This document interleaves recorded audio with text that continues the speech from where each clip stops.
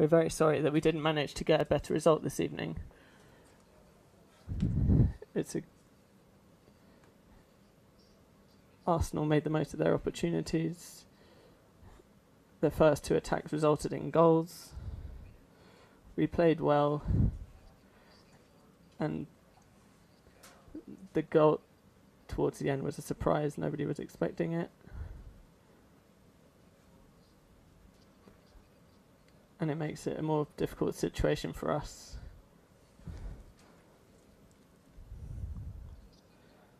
It, it doesn't take anything away from our thoughts that we can still reach the final.